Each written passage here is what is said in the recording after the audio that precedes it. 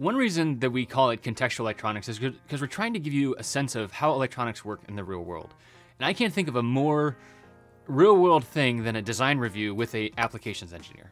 If you don't know, an applications engineer is someone who works for the company you're usually buying stuff from, and they help you design that part into your product. And so I've worked with a lot of these over the years, but I never really had a good sense for what that interaction looked like because as a college student or as a high school student or really before you get into industry and before you have the the dollars of your company behind you, you don't have a reason to interact with field applications engineers. Once you do, if you are so lucky, uh, it's a wonderful resource. Really, the field applications engineers, they are experts in the parts that they cover, and they give you feedback and ideas that you just wouldn't think about otherwise. And so they are a wonderful resource if you can get access to them. Unfortunately, as a hobbyist or as someone who's maybe outside of the industry, you don't have them. Or even if you're in a different part of the industry, you might not have them. So I had the opportunity to talk to a field applications engineer from Quectel. Quectel is the company that makes uh, cellular modems. They're out of, based out of China. They make cellular modems. They're on the ABC board that we designed as part of Contextual Electronics. And I had a chance to talk with Roy Chen, who's one of the applications engineers here in the States. He's actually, or sorry, not in the States, in North America, because he's up in Toronto. And he's really great. So this episode is me getting feedback on the ABC design, which is this cellular Bluetooth board that we designed as part of the, the course. And we, I recorded it because when else do you get to see that? I, I never could have recorded the interactions I had with uh, field applications engineers when I was uh, working for a company. But you know, this is this is my show. This is my this is my life. I get to record it. And Roy said it was okay, and so I'm really glad that we got to. So what this episode is is basically uh, Roy giving me feedback on this design. I had followed the design guide that's from Quectel, and so a lot of this is basically him kind of pointing out like, hey, you missed this part, or hey, you didn't do this part. But that interaction is super important because having feedback and having a reaction to the thing that you designed, that can save you time, money, embarrassment. Well, it doesn't save me embarrassment because it's actually me, it's Roy telling me, hey, Chris, you didn't do this right. But that's great. That's what I am happy to show here. So, I hope you enjoy this episode with Roy Chen, Field Applications Engineer from Quectel, and uh, we'd love to hear what you think about it. So here we go with Roy.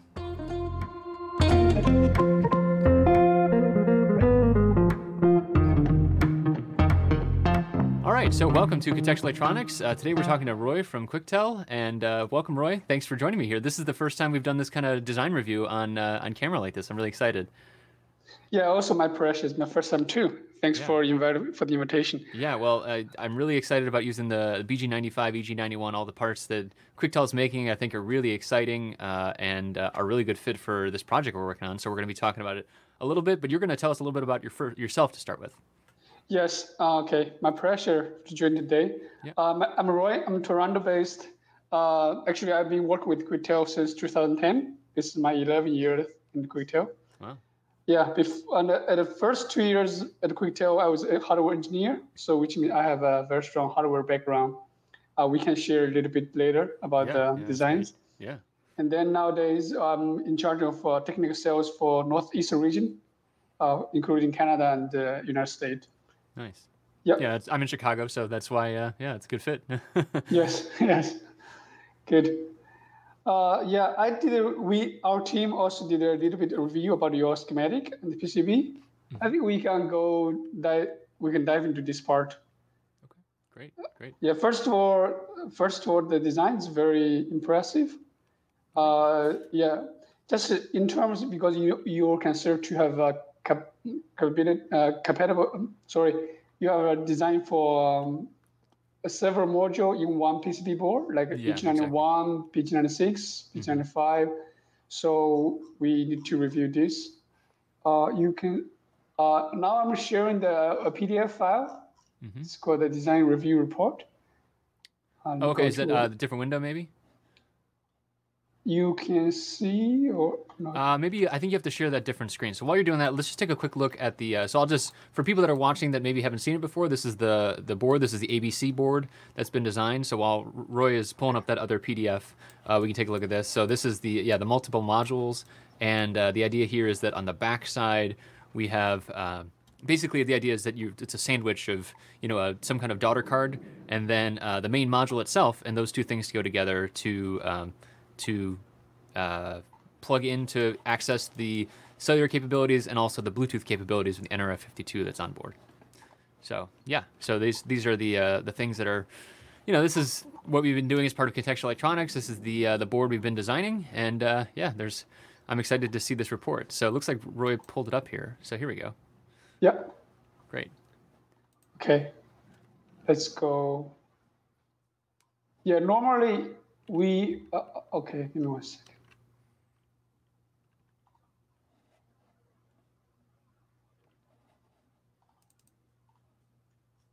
All right, there we go. Yeah, here we go. Yeah, so actually you had a good design for the power. Just mm -hmm. here, you pay attention. We recommend customer to adding one zener diode. Mm -hmm. So this is like, because the power for the module is between different module. Uh, BG96, EG91, BG95, those three modules have a little bit slight different uh, of the power supply range. Okay. So BG96, because it support 2G, so the power range from 3.3 to 4.3. Mm. And if some customer they uh, this they are going to use in the PG, BG95 M2, which is a excluded 2G, so the power range is between 2.8 to 4 4.6. Mm-hmm. So cool more wide range. And the typical yeah typical value vote uh, for BG96 is 3.8.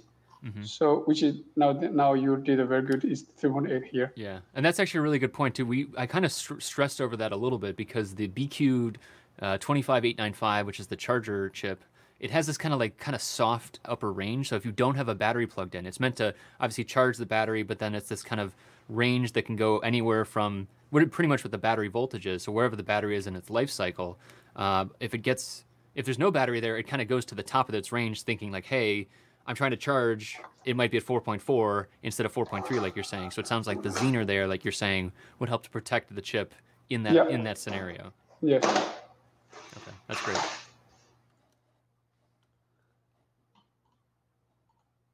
Okay. For the USB port, you know, uh, for the um, most of application using the P96, P95, they may use the USB port because USB mm-hmm. port is for AT command, for uh, GPS, mm-hmm. and also for software debugging and firmware yes. updating. Yeah, which is very important for the customer. They if they don't have uh, USB port connecting with the microprocessor, we also recommend the customer to have this port be reserved as a test point.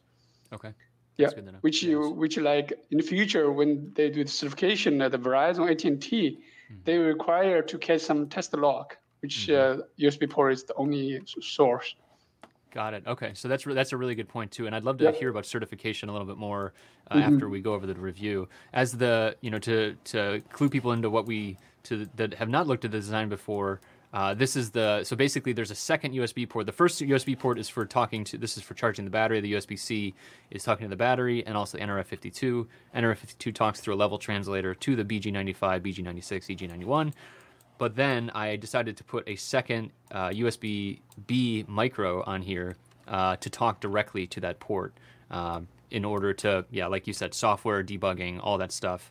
And then also some people might just want to use the the chip by itself, and that's also a possibility. So yeah. Okay, great. Good.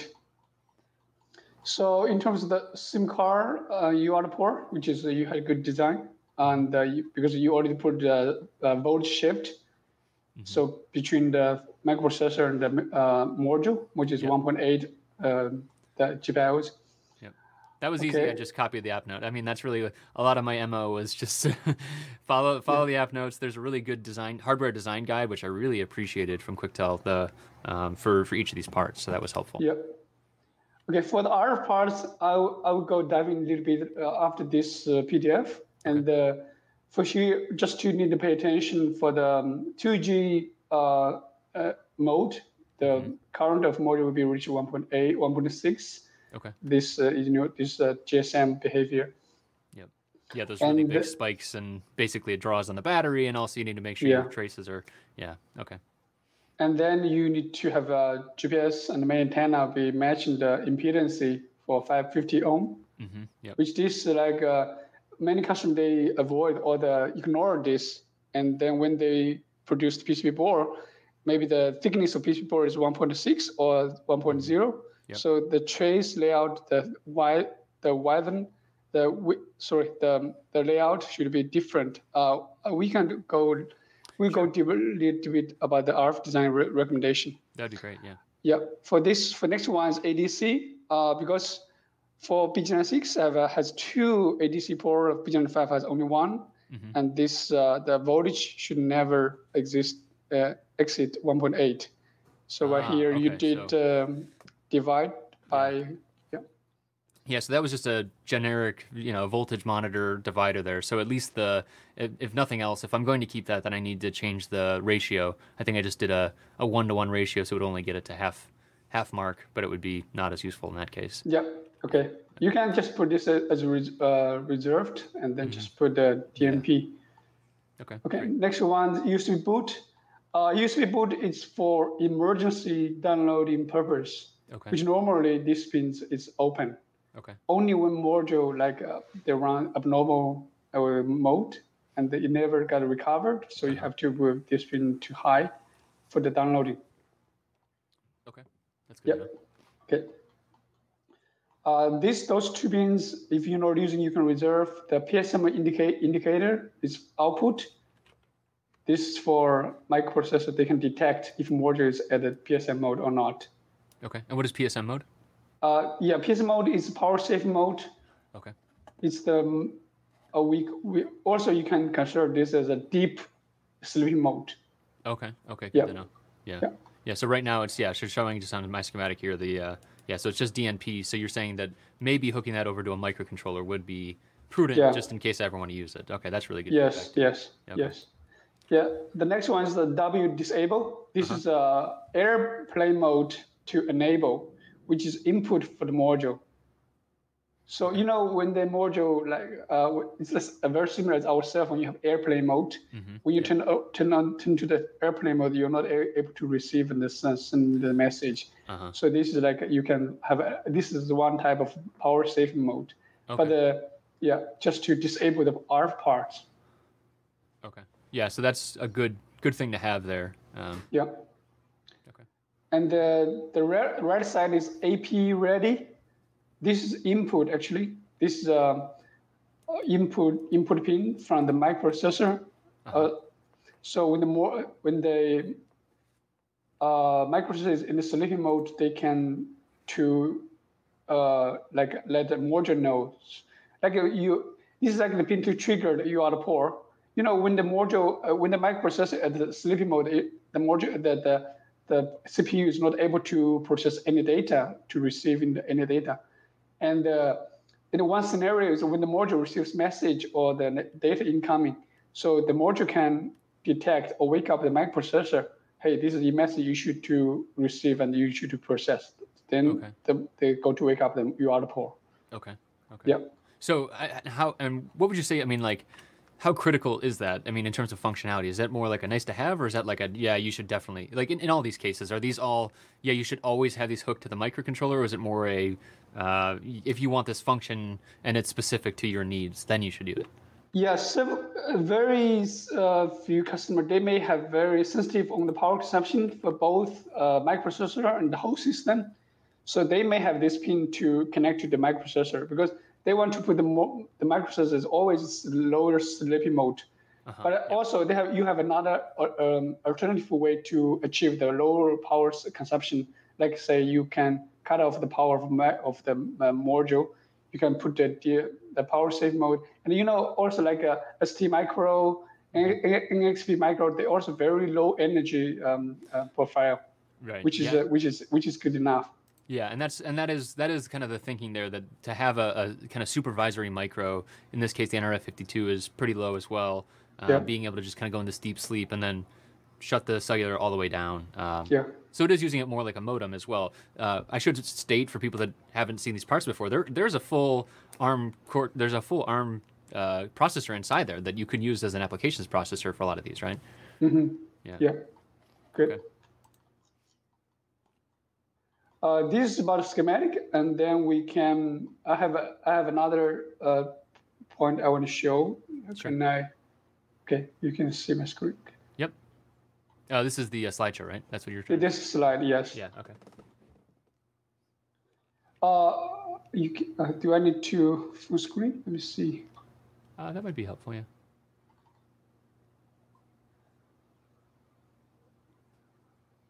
I think I'm. See- I think this is the presentation view, so that's why it's it's not full screen. Okay, I think it's okay. Yeah, that's okay there. So Oh, that's okay. Okay. yeah, that's great.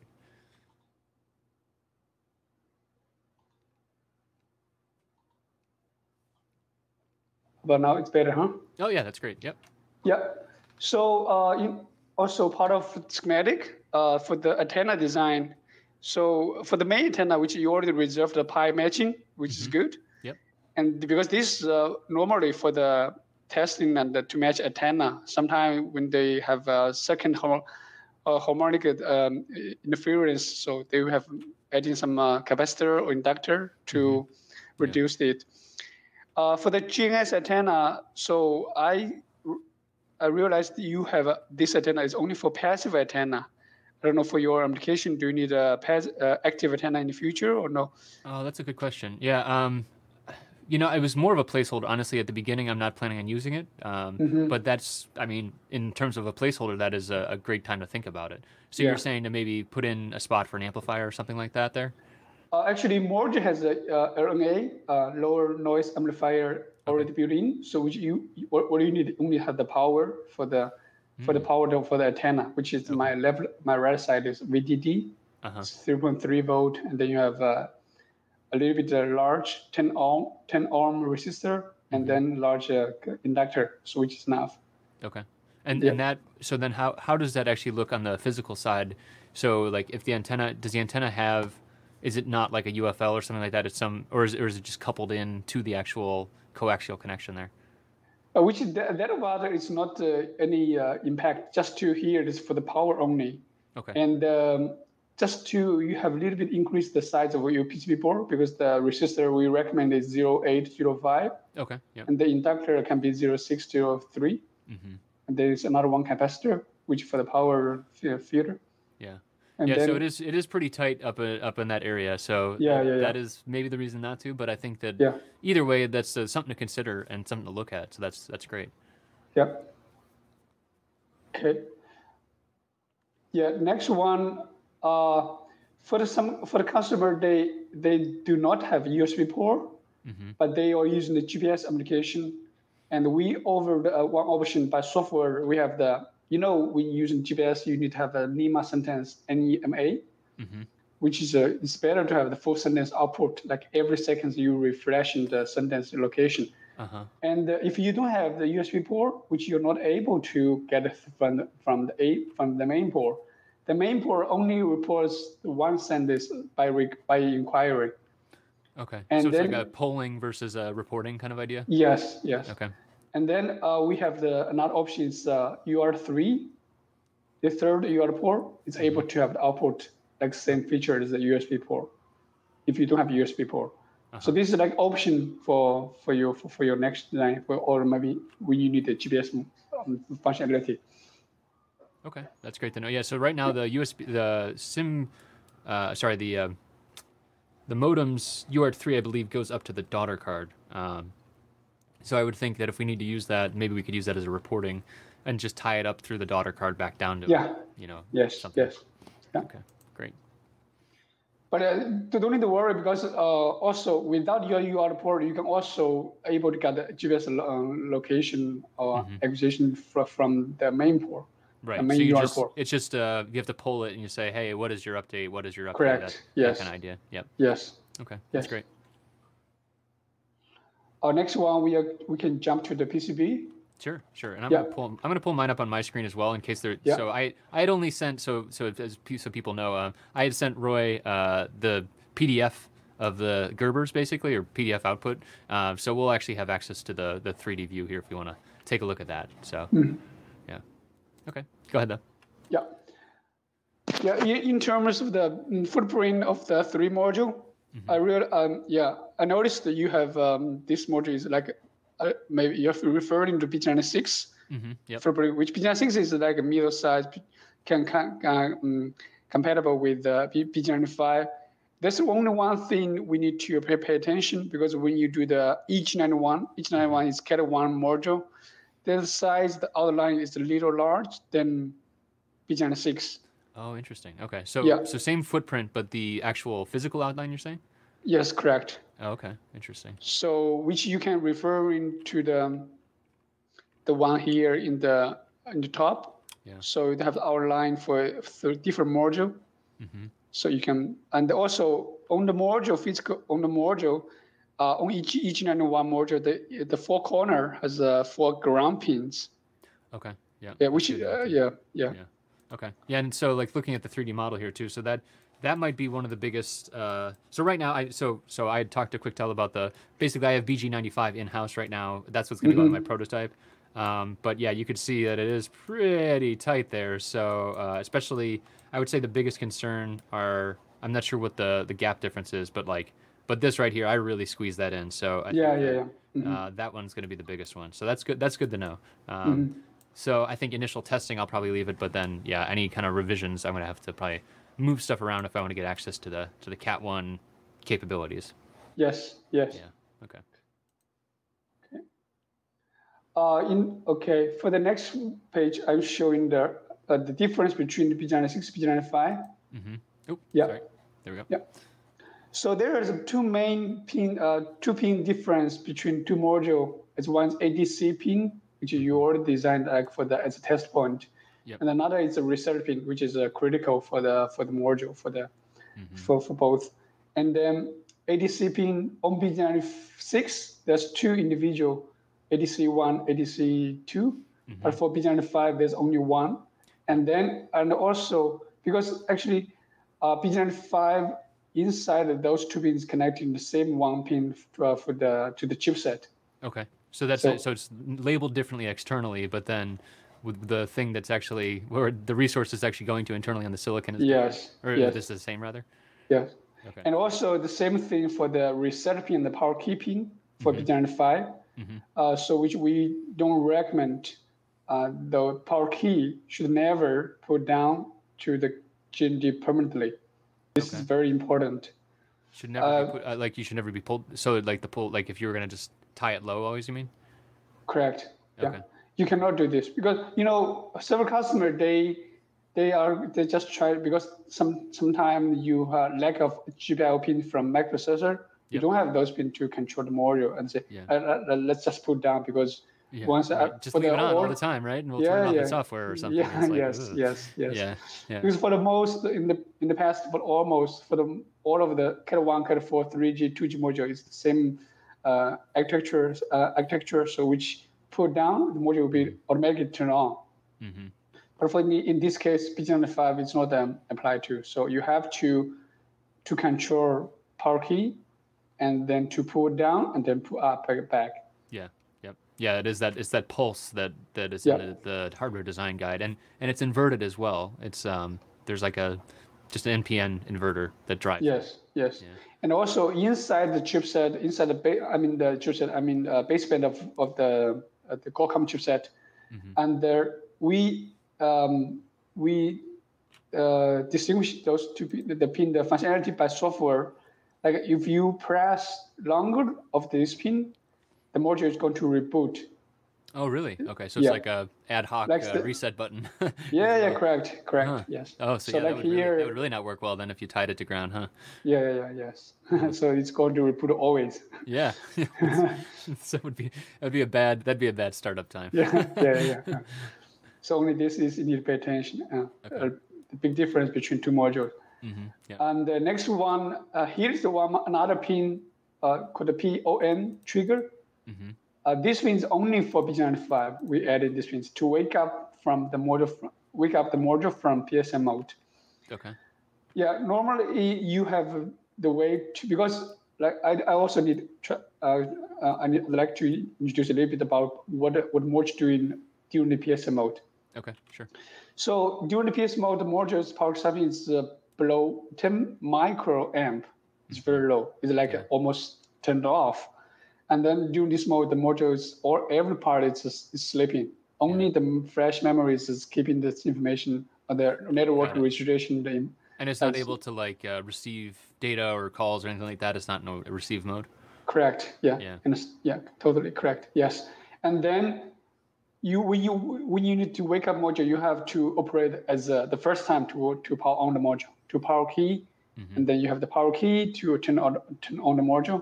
Yep. And then for the BG95, besides the power key, you have another option. This is a power on trigger to wake up the module. Like this is a the additional pin for the BG96, BG95, sorry.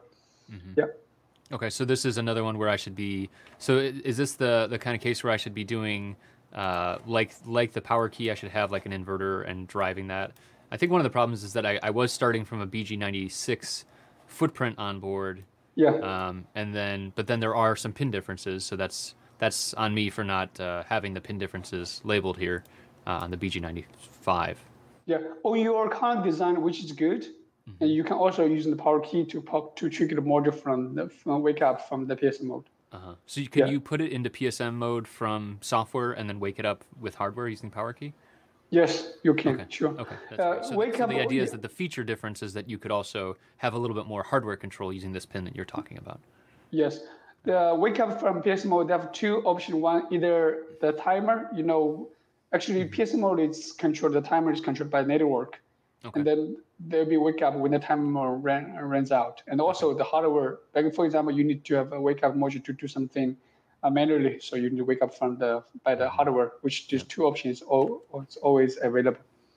Okay, that's great. Okay. Yeah, it's good. It's good. There's a lot of options. It's yeah. It's just kind of Yeah. making sure.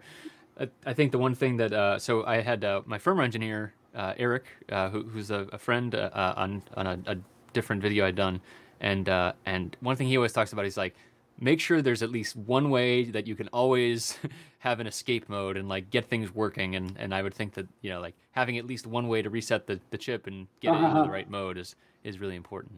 Yeah. Okay. Yeah. Okay, great. Yeah, next one. This is like a little bit design tips for the SIM card. Uh, actually, personally, I had a very good experience once I was supporting one of customer. mm, they made a design for the SIM card. They also 100% following our uh, design guide.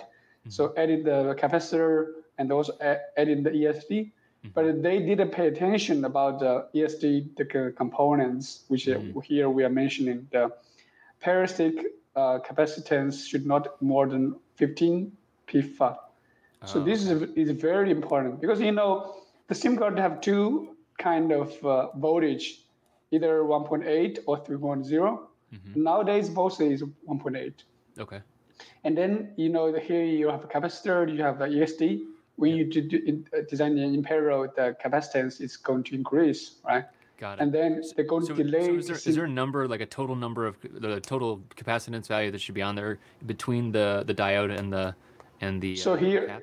yeah, we, we put here is a 30, uh, uh, 33 plus Mm-hmm. 15 plus 15, which is uh, no more than 45. Yes. Got it. Okay, great.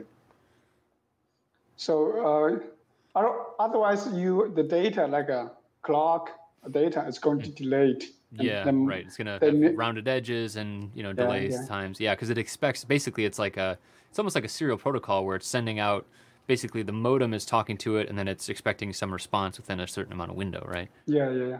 Yeah. Yeah, this is very critical. Yeah. Cool. Uh, this this part is about um, RF design. Uh, we can this also we have we provide RF layout application nodes. Oh, great. Uh, Yeah. I'm going to open this one. Okay, great. Nice. And let me, I'll pull up, while we're doing, while you're pulling that up, I'll, uh, I'll show the layout where we are here. Um, Yeah. So based on the stack up, so we're using JLC, the 2313 process. Um, and so looking at the backside here, basically what I calculated using my tools were, um, uh, was using, uh, what is this? Let's see your design rules here. So the design rules for RF 0.2 millimeter point, 0.2 millimeter uh, space 0.2 millimeter trace and that was going to get us i think it was like 50.3 ohms based on based on a coplanar uh, waveguide design So that's that's where my numbers had come from as as a starting as a starting point i'm sure i, I could have been wrong so Mhm. Okay. So we can we can uh, review it from the page. Mm-hmm. Sure. Okay. Can you zoom in a little bit on that, please? Can you see now? Yep. Better? That's great. Yep. Yep. So here it's uh, we noticed here the power you are designed for the to the module, Mhm. and uh, we recommend that the power the voltage the widen sh- should not no less than two millimeter. Okay. Yeah, and if uh, for some customer they need a longer, and also but also very important because you have a, you you're doing the four layer four layers design, which is Yep. this is a, you can just uh, yeah, which is it's good enough. And so, just to be clear, that is, I think that's on the. I'm just looking at the design here as well. Mm-hmm. Um, just trying to.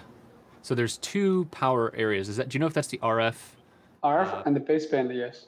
Yeah. So, but is the is that the RF or the baseband input that you're talking about there? Oh yes, this that is uh, this is baseband. Yes, this is baseband. Huh. So I thought that's here, the lower left corner. Is that right? Of the of the model. Oh, this is uh this is a top, I believe. Mhm. This part, your your screen, this that part is is okay. Okay. All right. So then you're talking about. Um, sorry. The RF, uh, okay, the RF. Yeah, so the RF section up here you're talking about. Let me make this a little bit easier for people to see too. So I'll turn on high contrast mode. And so just for clarity, the this is the outside of the module here. If we look at the, uh, I guess I don't have the backside silk turned on. There's the edge of the module. So this is the top right corner. Oh, this is flipped view. Sorry, I'll flip. This I put the uh, module on the backside, so it's a little confusing. Uh, okay, so then yeah, so then that's why that looked a little different here. So you're talking about this section here, and you're Correct. saying Yeah. the the trace you're saying the trace going to the 3.8 volt rail should be two millimeters minimum To me, well, yeah, at least. okay great that's good to know so then basically i could change that in the uh, in my design rules to say so this right now is oh wow how would you even get two millimeters would it just be a, a ground pour or what i guess You get ground pour pretty easily so those two pins should connect uh, directly, like uh, right. yeah so you're saying like just have uh, you mean the two pins connecting directly into the ground? Yeah. Yes. Yes. Okay. To the power pin, power, power. Right. okay Yep.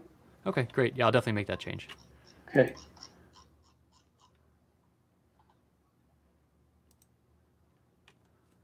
So next one is about the use SIM card. Mhm. Uh, we noticed this the uh, let me see uh, here the power for SIM card VDD and the ground Uh-huh. more than 20 mil. I don't know, maybe here it's just maybe this is a 12 or some 16. okay This says just, yeah. Yeah, yeah, I think I know what you mean. So that's uh, to show mine here. So that's uh, so the SIM card reader is on the front side, hmm and this is the back, the backwards from all that. So you're saying that the the power going to that pin uh, specifically, so the and it is kind of interesting that the the um, the ground and power are both sent from the module itself. So there's gr- ground and USIM ground and USIM power that are both sent directly to the SIM card instead of just giving it like a like the 3v3 or 3v8 from the rest of the board. Yes, yeah, because of the reason we recommend this way, this, uh, the, the design on this way, because we had a, uh, experience on our module in the past. Uh, several customer, the PCB board is more complicated than yours, and they have a digital ground, they have analog ground, maybe I have another ground. Yeah. So some once one customer they connect the ground to the analog gr- ground, which is uh, it's not matching. Like uh, so, so it's always like the SIM card is initialization fail. So which Yeah. mean now, uh, if even the pin inside the module is connecting directly to the uh, the main ground, but we recommend customers to say using the, the SIM ground. Got it. Yeah, that, that makes sense. Yeah, I mean, Yeah. yeah, and, and just to have a known flow, and then for troubleshooting as an applications yeah. engineer, I'm sure you can be like, well, you didn't do this thing, and so that's a good place to start as a troubleshooting method. Mhm. Okay, so that's good to know. Yeah, you're right. This is like a, it's a very, that's 3.5 mil trace. That's way too small. So, okay. Yeah, yeah, yeah. How, how much power does a SIM card usually take? Uh, it's very small, maybe Yeah. just a few am milliamps. Okay, all right. Yeah. So just a, as a general design rule, you're saying move it up to Yeah. a larger trace just to make it easier. make Mhm. sure. Yeah. Okay, great. Okay. Next one, I want to say, yeah.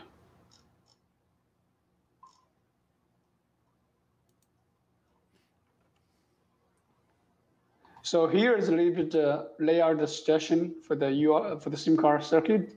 Mhm. And then you have the, from the module pins, and then you have you have series zero ohm, hmm and then two parallel 33 capacitor, and then ESD, and then connector.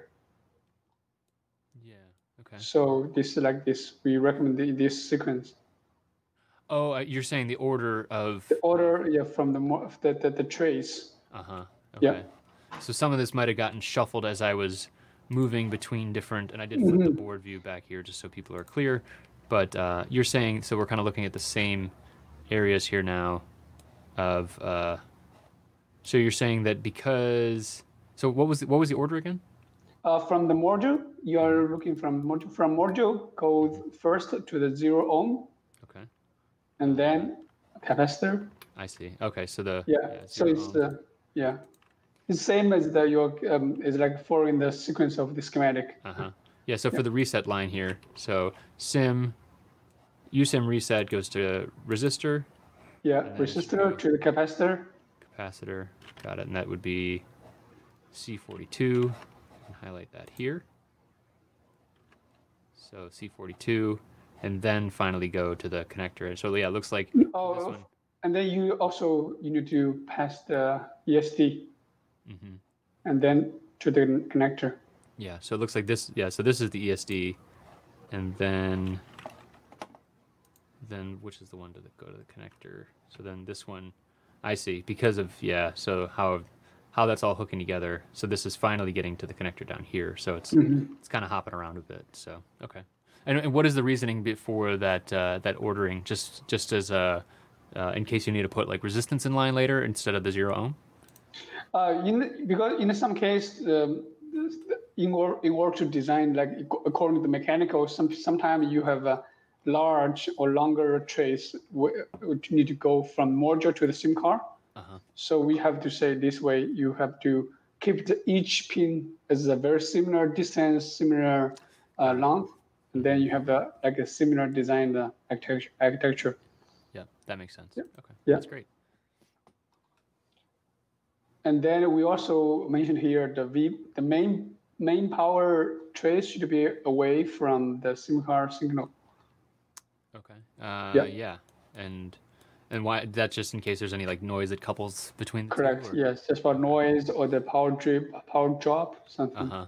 Yeah. How, how sensitive? How sensitive are SIM cards? Uh, it's like I've actually for Cat one, I think it's very less because in sometimes for 2G for Cat one or Cat four, uh, you are sending the large data. The module is power consuming large power consumption, Okay. which which uh, causes uh, m- massive uh, interference. Which the other part maybe is more impacts, but for this Cat one, I think uh, this is uh, to say yeah, just to say, as long as you have the space, you're able to make this happen. So Mhm. keep this as far as possible. Yeah, that makes sense. Yeah, and I Yeah. think that the um, yeah, like in a 2G, if you have these huge huge swings of current, you're Yeah. also going to have the Mhm. The equivalent uh, inductance that happens and coupling to to different things. So EMI Yeah. that happens. So yeah, that makes a lot of sense. Okay. Yeah. Okay. Cool. So here is the part for the USB. Mm-hmm. So we recommend you have this the like a, this is in dif- differential pairs, Mhm. and then the, between those two USB ports should be uh, surrounded by the ground. I don't know if you if possible. Okay. Yeah, that's a good point. So let me pull that up on here. So that's on, that's coming in on the back side um, of this design. And so these did change a little bit. I got some feedback from the uh, the PCB house that my space Uh-huh. to um, drill holes was a little bit low. So you're saying though, like, so then it comes in here. So this has ground all around it, but then on the on the front side, ah, now this is isolated here. Yeah, yeah, yeah. Yeah, that makes sense. Okay, so that would be that's actually not too bad because then I could just literally drop a if I can find space for a a, uh, a ground uh, plug here, then I can I can fill all that in. So that's Yeah. that's Mhm. really good to know. Yeah. Yeah. So I'll I'll definitely work on that. Good. Yeah. Actually, I could probably even do that here. There we go. I think I got it. Yeah, almost. Mm. Yeah. Okay, great. Good. Yeah, for the next one is about ARF parts. Mhm, Um, Oh, here, I think you can consider about the mechanical or the like interference between this uh, screw hole. You have the this layout. Mm-hmm. It's a little like a curvy, and uh, I don't know if possible. Do you like put this a, a little bit away uh, because and then you keep the the trace ARF trace away from the power. hmm Yeah. Um, so you're thinking maybe have it um, so yes to show people. we're say talking about here. maybe you can Mhm. reorganize the the the capacitor or the resistor of the RF, Mm-hmm. and then go straight from a left side, not to top. hmm So pin 49, you're saying to go from pin 49 up to to the uh, this is the UFL connector. Ah, okay, yeah, yeah. and so I think the main problem is just that the module edge is right here, and so Oh, yeah, to, yeah, yeah. to get an actual pi filter in there Mhm. was was very difficult. Now, I guess one thing we could do is I could do more of a straight shot and then you know remove the pi filter, but then that has its own risks of you know there's it's likely that you wouldn't be able to Yeah, yeah yeah. Actually, on your design, because this trace is very short, and I mean total maybe less than one mm, one centimeter, or 10 Mhm. millimeter, Yeah. which is uh, should be should enough. So we have a much uh, kind of very less, slightly uh, cable loss. Mm. And also, you did a very good design on the ground pins, ground vias, Mm. and uh, I'm going to share you another PDF. Okay, Yes. great. Yeah, that's one thing that um, it was hard to kind of get in, in in here. It was tough to get the the vias, and definitely like I, I I was thinking about it being right over top of the power, and that's that's just a function of like the fact that there's yeah there's not much room to get uh, other stuff in here. So I did have, I guess this is a capacitor here, and this is um, this is just kind of the ra- the range of different parts. So I guess I could remove some of these. I I basically I had um, I had a bunch of like really large. I guess on the the top side I have really large bulk capacitors here. I took I turned the uh, off here, but uh, I I had I had all these these caps, but nothing could fit up here where the RF power is. Uh-huh. And that was really the problem for a lot of this. Is just that there was not room for the power even on the backside. I see. I see. So like right, that would have been up in here. So Mhm. and and also the height restriction. So I have a, a height restriction of 1.5 millimeters. So I, what I tried to do is have um, I, I switched from that 1210 or whatever that larger package was. I think maybe 2512 down to 0603, but I have a bunch of them in parallel because I've experienced in the past of having um, brownouts due to you know during transmit and thinking about Cat one being a little bit more stringent than a Cat M1. Uh, that's why I wanted to have a you know a bunch of parallel capacitors there. Okay, good. All right. So you said you're going to show another PDF here. Yeah, um, yes, here. So this is a generic ARF design re- recommendation, uh, which this part for the schematic, we have PyMagine recommend, recommended, uh, which is same as your design. And then uh, here, uh, this is called um, clam, clamper, uh, clam, clammer uh, design. So here we did a, a a simulation about uh, the high uh, thickness of PCB board is 1.8, sorry, 1.6. And then what's the trace, trace what's the widen, Oh, what's the clean ratio we should do Right. design. That's an And they- interesting uh, difference too, because um, so the the the stack up that I'm using is actually it's po- it's only 0.1 millimeters versus 1.6 millimeters, and so like just- you talk about the dis- difference in trace sizes is like significant, and so that's why I think I think if you do a two layer design and you have that thicker trace, uh, sorry, the thicker board thickness, um, you can make a much thicker trace, which also fits that coplanar waveguide better. Um, but in this case, I actually ended up, uh, if you look at the the design here, um, the uh, I ended up necking all these down because I had to use this thinner trace in order to hit 50 ohms. Yeah, And these yeah. are uh, these are like some some things to neck the back, you know, to to go back from a thin trace to a thicker pad. Normally, I would try and get uh, a uh, you know a thicker trace that matches the size of the 0402 components, but Mm. in this case, uh, since I'm using a low cost board house, I, I can't define the stack up myself. So I think I the. The answer normally would be, you know, define your own stack up, do your own thing. But I'm, Correct. Yeah, yeah, I'm yeah. a cheapskate, so That makes sense. Yeah, sure. yeah. Yeah, here just to say, uh, pay attention on the design. Like uh, we recommend here, like as you did, to have uh, several vias, ground vias between those RF, ca- uh, RF cable. Mhm. This is to create a, a, rule for the ground signal to get feedback, right? yeah, yeah, This is important. yeah. Yeah. I've had a lot of trouble with those uh, SMA connectors that you show in that drawing there, actually. yeah. Not because of the the SMA connectors were fine, the trace was you know the correct width and everything like that. It was actually because right when the tra- the thinner trace hits that really big uh, mount point, so like Yeah. the landing there, that's actually been my problem in the past, where you have this huge discontinuity because it's like the trace is happy, it's happy, it's happy, and then it sees this huge bulk of copper, and it's like I don't know what the impedance is anymore, and then you know. you know, especially Yeah. like when you're doing gigahertz level designs, it really starts to matter. Like in the megahertz, it's usually you know the hundreds of megahertz is okay, but the higher frequency stuff can really start. I'm, I'm not sure what bands are up in there, but it can really start to mess with your mess with your signal integrity. Yeah, I agree. I agree. Yeah. So this is just a general for the ARF design. I think mm-hmm. right here, back here. Yeah, that's all about the, your schematic and the PCB layout review. Mhm. And then uh, for the um, uh, customer who need to more information, we have here uh, the download the link. So for three modules. Great. Yeah. That's really great. So what about so you mentioned the um you know some of the certification stuff. So talking sending off to Verizon, AT and T, things like that. What is, what does that process usually look like for people that are interested in that in that sort of thing? Yeah, first of all, the module is a Verizon AT&T PTCRB FCC approved, and then we uh, we do the certification for Verizon. Now, Verizon, you know, during the pandemic, so they changed the way how they certify device and module. Okay. Uh, used to, they put um, a very um, difficulty for the module and the bo- both module and the device. And in the past, you have to be sit on the lab in the lab and then doing the like week, two weeks for the for the device certification. Nowadays, they simplify the process for the device, but Okay.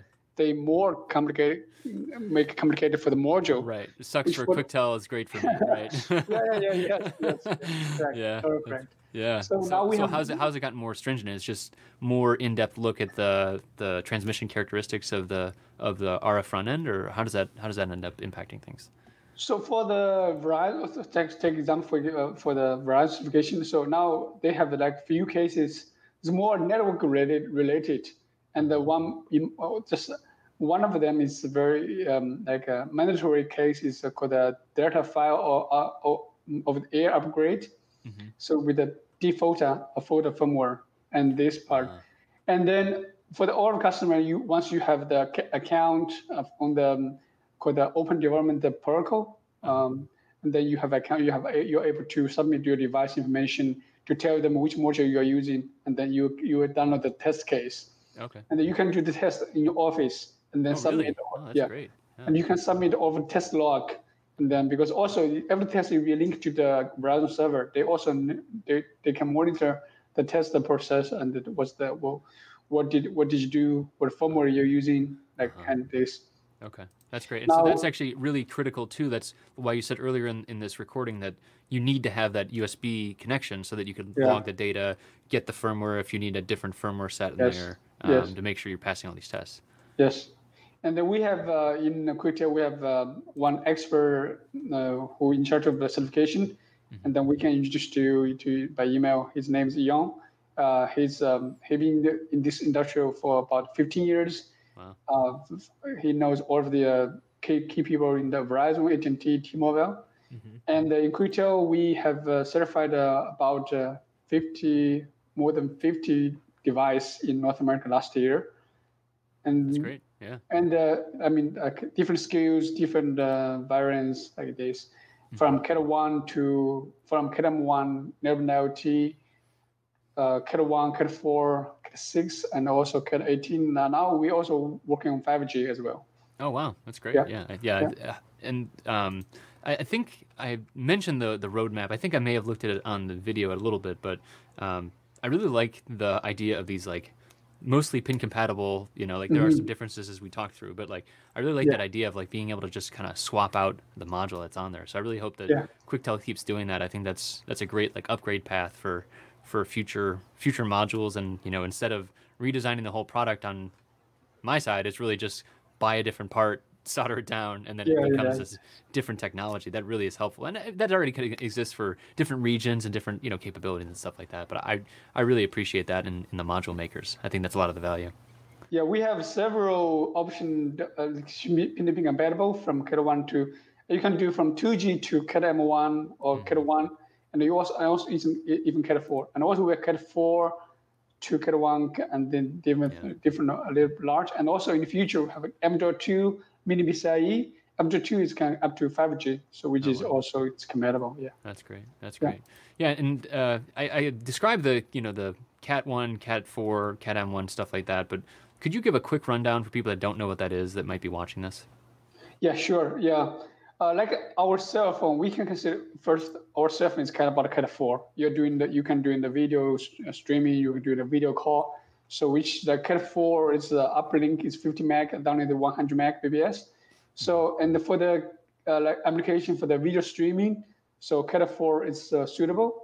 And um, for the customer, they're doing the like a tiny data and uh, maybe send some picture. That's the maximum like uh, when you have two mega some file. The Cat one is enough, and also Cat one, Cat four. The coverage is in, in is already there for a long time. Yeah, forever. right. Yeah, and that's actually a, a a reason that I I explained um, when I was starting this stuff as well. Like that, I was interested in the swap is that Cat M1, even though it is out and is broadly available, it's not available everywhere. And being able to switch to Cat 1 in certain Yeah. places and certain, you might be able to look at your phone and say, "Hey, I've got signal," and then Cat M1, your your little device doesn't doesn't work yet, and you know Yeah. it's it's on the way, but it might not be there yet. Actually, uh, yeah, there's, because Cat Cat one has already been uh, announced and then deployed f- since about two years ago. Now the coverage in North America and Canada, uh, including US and Canada, is quite a very mature uh, already. So based on our customer, because we all been shipped about more than five million, maybe eight million already for Cat one in the North America, which uh, the feedback is very good, very positive Oh, for the coverage. Good. And then uh, that's also for Cat one, the penetration is network penetration is better than Cat one because the consistency is uh, below uh, minus 100, minus 110 like this. Mhm. And then for the most application, like we call it IoT M2M, the people doesn't need to uh, low higher data rate. Sending uh, only piece of the information once a day, once a week. Yep. And then Cat one will be a very good option for like a metering application, uh, lighting. We have a customer like doing the lighting, street lighting. Lighting, oh, oh like Yeah. industrial lighting. Okay, so Industrial not, lighting. not like uh, your light bulb's not cellular connected, but it's, it's someone's like light ballast in a gymnasium or like a factory might be might be. Yeah, they call connected. yeah they call this smart city. Uh, Oh, sure, yeah, and I guess yeah, light uh, like uh, street lights, right? That makes yeah, sense. street lights, and then because you know they, Wi-Fi in the in the middle of the the road. yeah, the, yeah, the reason of this market is booming because you know the cost of Cat one is getting down and lower Yeah. and lower, Yeah. and then they are able to replace the gateway, yeah, which is uh, used to ro- uh, the, the Roshan one to six or maybe one to 10, one to one hundred Mhm. of gateway in the, between the each unit they communicate with the short range or Zigbee. Mhm. And now with the Cat one, the cost can be they can able to in, install the all, for all the unit. Mhm. So then I also, and the Cat one, uh, for my personal personal understanding, like uh, you know, 2G is there for the, some country. They have if they keep in 2G, they may not to implement Cat one because 2G Cat one is also supporting the mobility. They you can do the movement for the tracker. It can do with Mm. Yeah. Cat one. Right, and yeah, you see Yeah. that a lot with like the Sim 800, Sim 900, like the small modules. A lot of the uh, maker boards that are out there use those still, and they are active a lot of places. But uh, some of the, U- at least in the U.S., a lot of that is getting shut down and getting, you know, the band, or sorry, the uh, the uh, the white space is getting moved around and, and Yeah. uh, allocated to different things. Yeah, for the for some for the country like US, they shut down 2G. Uh, some, I mean, maybe they are the first country shut to shut down 2G. So that's the reason they more prefer to have Cat one network coverage. hmm Yep. And then uh, T-Mobile, the first uh, carrier implemented Nerve LTE. Actually, there was uh, for the light, lighting um, project in Las Vegas. It's first uh, city programming. And also Europe, for the country, they keep 2G. They may they they prefer to have LTE because like to say uh, Nerve is kind kind of like technology to replace uh, short range like Zigbee, Bluetooth, Wi- uh, like a, a 900 mega, 433 mega. Mhm. So those kind of then um, a chip chip can be replaced by Narrowband LT because the cost is uh, similar, Mhm. and also um, for the Zigbee or LoRa, this technology you need to have um, a central network to be That's right.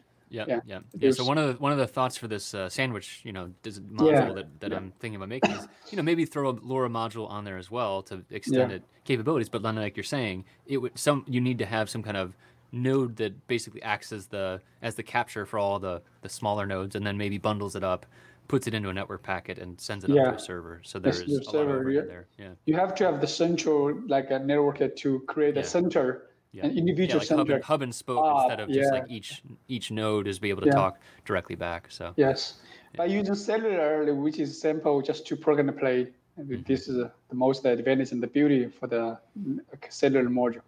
That's great. Yeah. Yeah. Yeah. and I'm- I mean, yeah, being able to get a signal anywhere, well, from almost anywhere, you know, like deep, deep wilderness, you got to go to a satellite, I think. But uh, yeah, any city, uh, it's especially like all, like you said, asset tracking, like being able to track where your, your food order is throughout the city. It's like, you know, that, that doesn't come for free. That someone's got a cell modem on their, on their device, on their bike or, you know, their caviar bike or whatever. So Yeah, uh, here in my screen, I'm sharing the latest.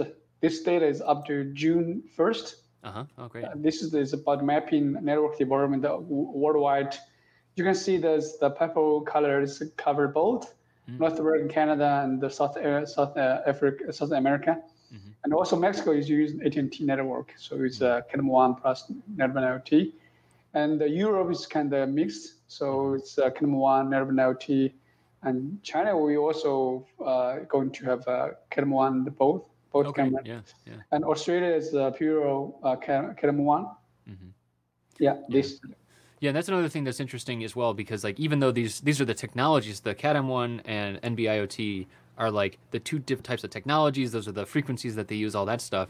But then there's also frequencies within those bands as well that are I don't know. Do those cross over more than than some of the the GSM stuff used to? Because I know that there's different modules types that you need to get in North America versus worldwide and those kind of things. Uh, yeah, they have uh, they have uh, several ma- uh, ma- mainstream bands they're using for like for uh, North America the band 12, 13, band 5 is the main is the main band, which is uh, all of them is a low band. It's uh, about 700 meg. hmm And then for the, also they are um, doing the, like a band 66, band 71. It's Uh-huh. also about a 750. Yeah, it's below the bare frequency of the GSM, and which it requires a, a longer, uh, the, like a, a longer, large size of antenna design, which is also important for the customer who wants to achieve the tiny size of the product. You, They have to consider about the antenna size as well. Right. Yeah, it's always that weird trade-off of like, yeah, you need the bigger antenna, but also then you can get through walls a little bit better, you know, like so it's like that weird, you know, it's, Yeah, it's like yeah. it's a tiny little silicon device with a huge antenna hanging off of it. Yeah, Yeah. by design, as a tiny size, you you already sa- sacrificed the performance of antenna. Yeah. And also the good the good thing is uh, AT&T they renewed the test the standard Uh-huh. for the kind of one uh, tiny size. They have two different uh, category. Big size, you have to achieve the 20 dB or 18 dB uh, output. We call um, TRS, TRP. But for the tiny size, like the, they put um, the dimension less than 20, uh, about 20 uh, millimeter, something like this, centimeter, like this. So that was only needed 12 dBm, dBm outputs, which is uh, very good for the. Right. It's easy to achieve. It's easy to achieve. Oh, that's good. Yeah. Yeah. Yeah, there's a lot of really interesting things, and I I really appreciate the fact that you you know came here to record with me and you know give me feedback on the design. That's really valuable. Yeah. Um, Roy, where where could people? So if people are interested in building their own designs, where could people find information about you or using Quectel parts or you know getting design reviews and things like that? Yeah. Okay. Uh, uh, I have my email right here. So and uh, it's at the very beginning. So this is my email. Okay. And also we have uh, in our our website we have the inform information inform at quectel.com. So we have sales uh, North America sales at quectel.com. So we are easy to appro- approach, and uh, we have um, more than ten engineer uh, engineers in uh, based on local based. We can support you support you in real time, and um, yeah, we have a very strong team here nowadays. Awesome. Yeah. Yeah. Well, Roy, thanks so much for joining me. I really appreciate it, and uh, I, am looking forward to implementing the feedback you gave and uh, and uh, getting some more, getting these boards back and trying them out. So thanks, thanks. Yeah, my brush too. Yeah, it's my first time, but it's impressive and it's very, very exciting. Yeah. All right. Thank you. Thanks. So that was episode six of Contextual Electronics Podcast. Uh, a little bit different than the other ones. You know, it was more Roy helping me, and I realized that's a little different. It was less pointed questions about Roy's background, and usually we try and get more of a feel for for uh, what the guest is doing. But Roy was such a great sport to play along, and I really appreciate him giving me that feedback and giving me the advice.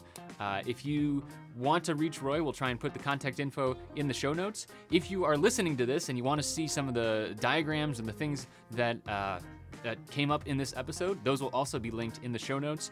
Uh, of course, if you want to, you can always go and sign up as part of Contextual Electronics. The Contextual Electronics people have seen this entire design process, and they actually have seen me make these some of these mistakes in real time, or oversights, let's call them. Maybe not mistakes. And uh, that's kind of the thing that we try and do with Contextual Electronics. We don't just try and show all of the stuff like we are here, uh, we try and show the entire design process. And that's kind of the idea of the course that you're seeing as I'm doing, as I'm making these decisions, as I'm doing part placement, part choice, all of these things, and then eventually, you know, coding and we're into the build and the coding and the troubleshooting, all of these different steps. We're trying to bring forward all of the things about electronics that might not be obvious from the from the outside. And and this is from my perspective as well, right? So as someone who started from no knowledge at all to moving to where I am now 15 years in, I'm trying to bring the things that were super confusing to me to the forefront. And so hopefully that's useful for you.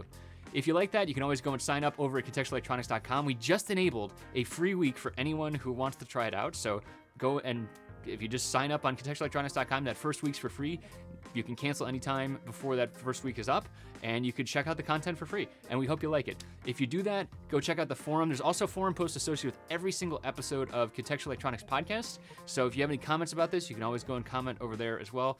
The forum is free for all and open to all, and there's some really great people that help answer your questions about general electronics. And uh, we're trying to build a community up so that more people get into an electron in, into the electronics industry and try this stuff out because that's what we really like here. So that's all for now. We'll be back with more episodes of the Contextual Electronics Podcast. In the meantime, please tell your friends, share the podcast, tell other people, give us reviews, anything you can do to support us. We really appreciate it. Thanks for watching. We'll see you in the next one.